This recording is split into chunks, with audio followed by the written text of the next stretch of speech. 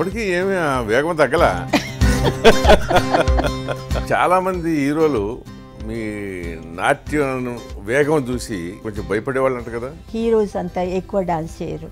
Do it సాంగ్లో వస్తే కూడా హీరోయిన్స్ ఎక్కువ చేస్తారు. చుట్టూ తిరుగుతుంటారు.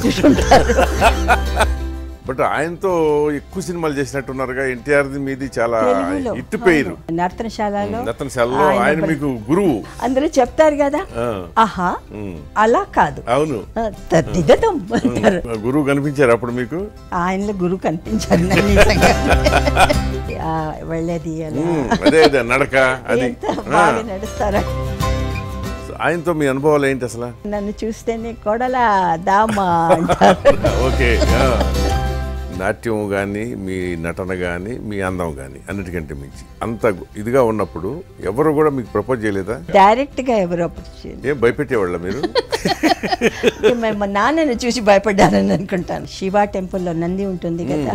సో నందీశ్వరుడు లాగా కాపాడుతుండేవాళ్ళు అనమాట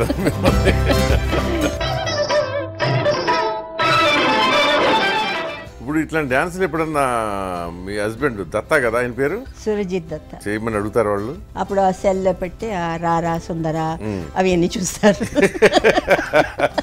ఓకే తనను ఊహించుకుంటూ. మీ హస్బెండ్ నుంచి ఏం కాంప్లిమెంట్లు వచ్చాయి? చెప్తే నవ్వుతారు మీరు. అంటే చెప్తారు ఈ వరల్డ్ బెస్ట్ డాన్సర్.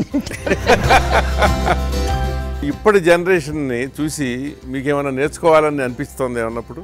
ఏమైనా మిస్ అయ్యానని కానీ డబ్బు ఎక్కువ ఉండొచ్చు ఫేమ్ ఎక్కువ ఉండొచ్చు. కానీ రామారావు గారితో చేశాను కదా. ఆ ఛాన్స్ ఇప్పుడు రాదు. అంతేగా? No way. ఇప్పుడు వంట మీరే చేస్తారు కదా? సాంబార్ రసం. రసం ఇది మీరు ఎక్స్పర్ట్. సూపర్. అయ్యో ఎప్పుడో మరి అదృష్టం మాకు. రండి. నేను అలా కూర్చుని ఆర్డర్ చేశాను.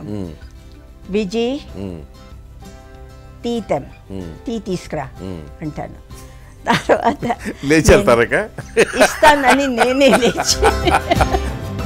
హిమగిరి తనయే హే మలతే అంబ ఈశ్వరి శ్రీ లలితే. అలనాటి కథానాయిక గువ్వల రాణి ఎల్. విజయలక్ష్మితో ఓపెన్ హార్ట్ వితార్కే. ఆదివారం రాత్రి ఎనిమిది గంటల ముప్పై నిమిషాలకు